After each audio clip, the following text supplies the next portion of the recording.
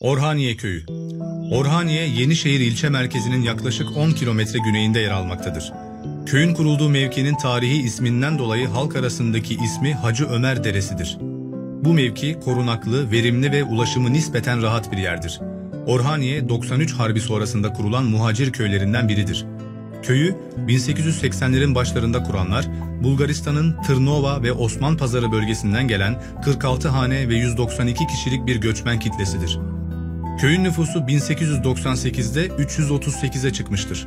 Cumhuriyet döneminin ilk nüfus sayımı olan 1927 sayımına göre Orhaniye'de 121 hane içinde 613 kişi yaşamaktadır. Orhaniye günümüzde de Yenişehir'in en büyük köylerinden biridir. 2000 yılı nüfus sayımına göre nüfus miktarı 1140'tır. Çanakkale Savaşı'nın ünlü gazilerinden Müstecip Onbaşı bu köylü olup mezarı da buradadır. Müstecip Onbaşı Çanakkale Boğazı'nı geçmeye çalışan Fransız denizaltısını vurarak teslim olmasını sağlamıştır. Çanakkale'nin ardından Kurtuluş Savaşı'na da katılan bu milli kahramanımızın adı köyün okuluna verilmiştir. Orhaniye Göleti 1993 yılında hizmete girmiş ve etrafındaki 3000 dönüm civarındaki arazide sulama yapılmasına imkan sağlamıştır. 1980'lerin başında kurulan ve günümüzde faaliyetlerini sürdüren Orhaniye Köyü Kooperatifi, bütün Bursa yöresinde en başarılı kooperatif örneklerinin başında gelmektedir.